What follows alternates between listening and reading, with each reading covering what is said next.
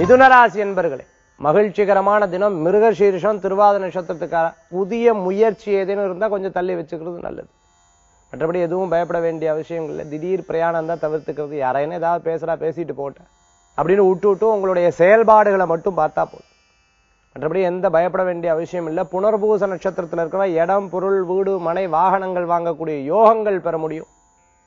பிறர் மூலியமான காரியத்தை சாதிச்சு பேர்.